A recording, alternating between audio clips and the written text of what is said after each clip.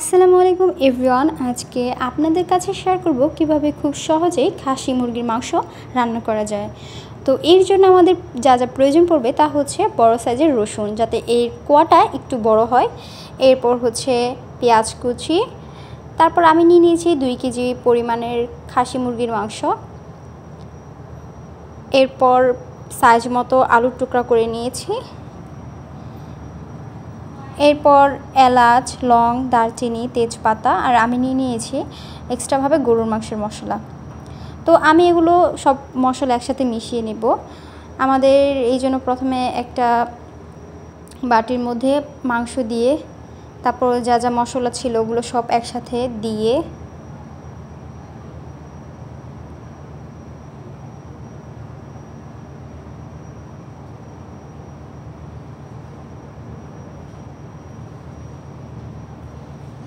এরপর এখানে গরুর মাংস মশলাটা দিয়ে দিব, যাতে করে মুরগির মাংসটা মানে ভেতরে মশলাগুলো ঢুকে এবং খুব তাড়াতাড়ি সিদ্ধ হয়।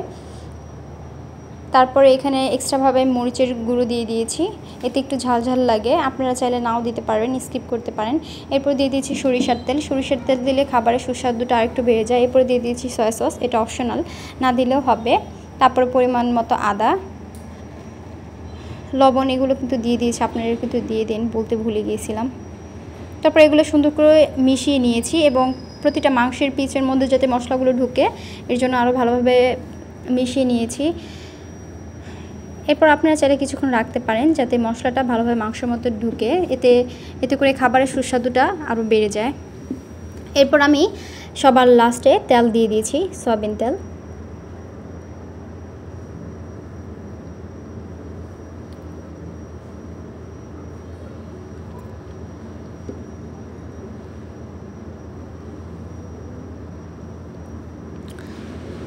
এরপর দিয়ে দিয়েছি পরিমাণ মতো পানি।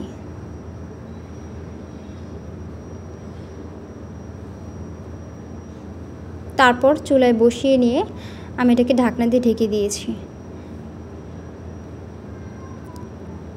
কিছুক্ষণ পর যখন এমন অবস্থায় চলে আসবে, তখন আপনারা চেক করে নিতে পারেন বা নাড়াচাড়া করে দিতে পারেন, যাতে মাংসগুলো ভালোভাবে সেদ্ধ হয়।